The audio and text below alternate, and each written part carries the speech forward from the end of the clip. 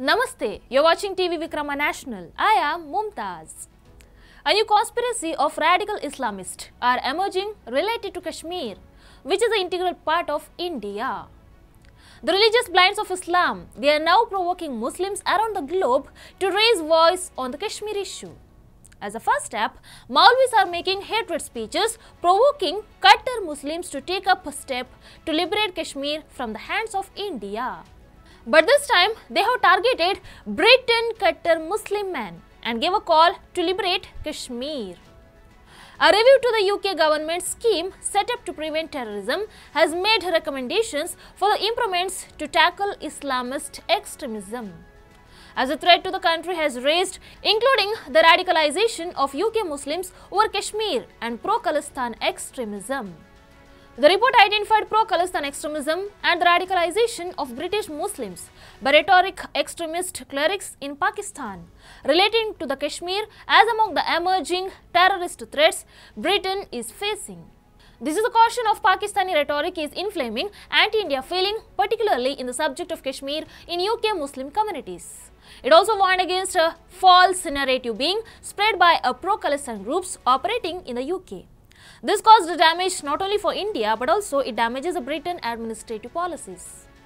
Let's check out what all facts UK has passed to Indian government. The anti-Indian sentiments has raised in Qatar Muslim community in UK. The statements and religious provocation to Islam community from Pakistan has impacted in such a way that India is going to face a huge consequences in future. The dark days of Hindu Pandit genocide may repeat which can bring up the disastrous results in Indian administration.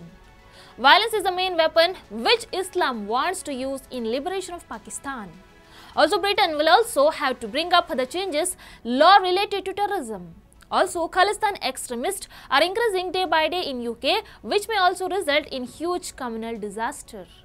The followers of Islam in Britain are provoked in the name of Islam and Quran to wage a Islamic war against India to liberate Kashmir. According to this, Islamic war will unite Kashmiri Muslims. The abrogation of Article 370 has been their main reason for this revolt according to the source. It's a high time for India. The National Security Agency has eyed on each and every move made by such hardcore Islamists. This modern Indian is highly capable of preventing such damages. Internal Security Agency is highly qualified to analyze the situation and find the perfect solution for the betterment of India.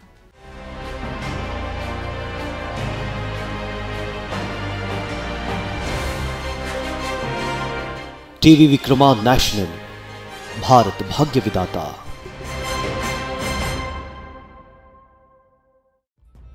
Subscribe TV Vikrama National and don't forget to click bell icon button and select all notification.